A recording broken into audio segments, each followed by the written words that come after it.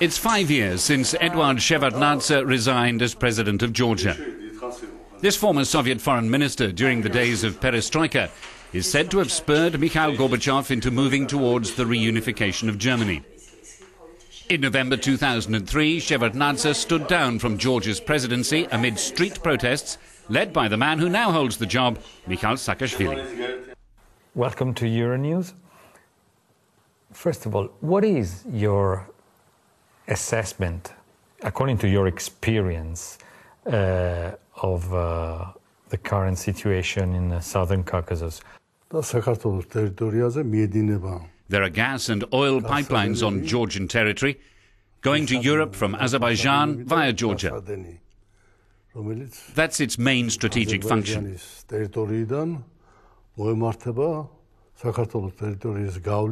Probably the Nabucco gas pipeline project was also planned the same way, linking to the Caspian Sea via Georgia and Azerbaijan. That's the way it was all planned, but we don't know yet how it'll be carried out. Secondly, we were a Russian colony for 200 years, and in that time we became very close.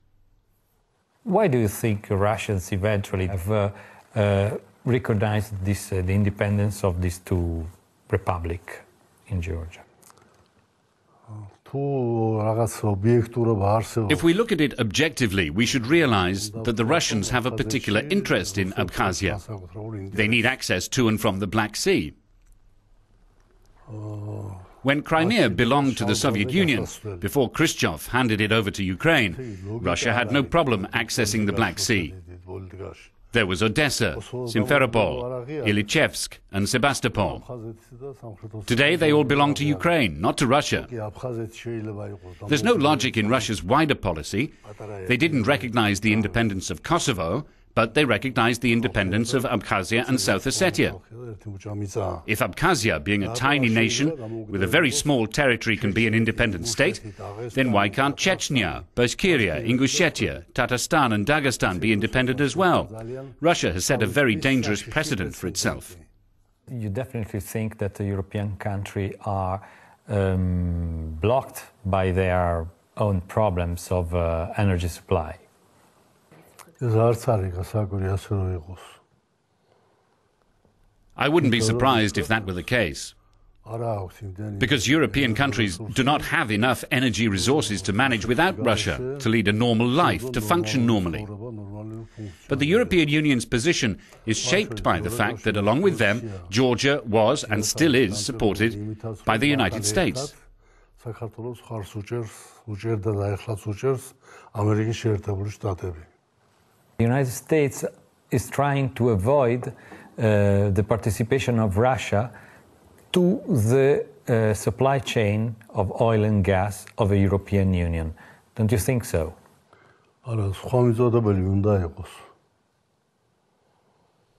There should be another supplier. There's oil and gas in Azerbaijan, but not enough for Europe. It's Russia which has the greatest resources, produces the most energy, and supplies the European market ენერგომატარებლების აქვს რუსეთს რომელსაც გააქვს ევროპის ბაზარზე How do you think uh, the Georgian administration, the Georgian presidency, the Georgian government dealt with, uh, with the crisis, with this challenge? რა თქმა უნდა აგრესია განხორციელდა Of course, there was aggression, მაგრამ ძალიან მნიშვნელოვანი but it's vital to know who took the first step.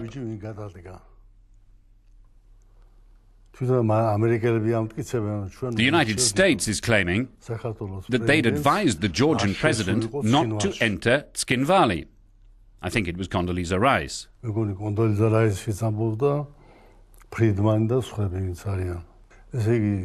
Perhaps the occupation of Georgia would have happened anyway, but we gave Russia a reason.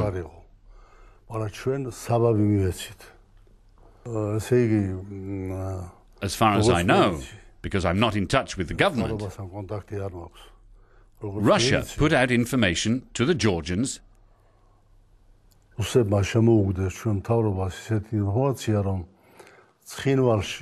That there were no Russian troops in Tskhinvali and the Roki Tunnel, which connects Georgia with South Ossetia and the North Caucasus.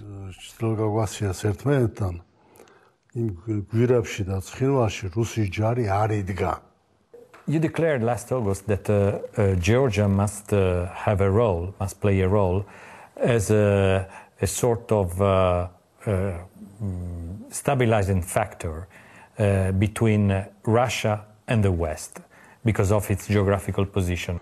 Whether it's neutral or not, Georgia will always have a role because of its geopolitical position. And after a while, but not right now, it will be able to be an intermediary. Was this uh, the George of uh, President Shevardnadze's idea of Georgia? The first requests to become a member of NATO were made during my presidency. There's one difference. In my time, we were able to have a very good relationship with the United States. They were helping us financially, materially, and morally. At the same time, we had a friendly relationship with Russia. Putin and I were almost friends at the time. And Putin worked out many problems in Georgia's favor. When you're in a relationship with both countries and you're balancing the relationship between both of them, then other kinds of opportunities appear for Georgia. When the United States decided to help us build an army, they set up a training project with their own money. 19 experienced specialists came to Georgia. I was the first to tell Putin about it. I told him that despite the fact that the United States were helping us to set up an army, I guaranteed him that there would never ever be an American military base in Georgia. On one hand, you say that uh, mm, Russia uh, made a lot of mistakes. And now you're saying that uh, you are uh, very close to Putin and uh, that uh, Georgia uh, must play this role of uh, being member of NATO, but at the same time to be a sort of stabilizing factor.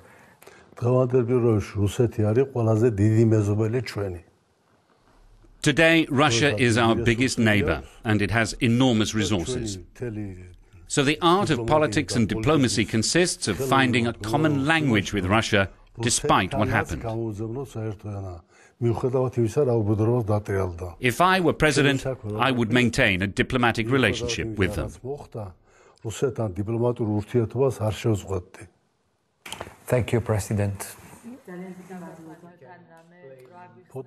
Thank you.